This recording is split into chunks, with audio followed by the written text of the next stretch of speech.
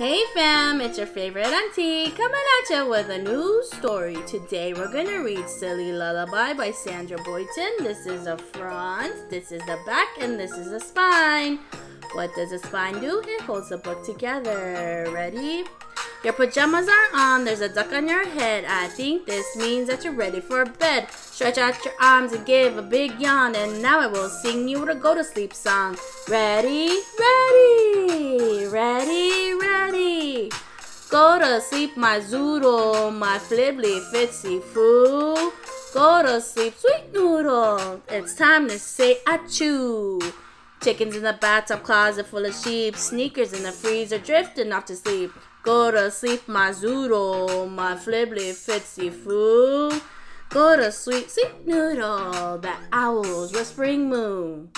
Good night, zoodle. Good night, flipsy foo. Good night, zoodle. Good night, flipsy foo. Bye bye.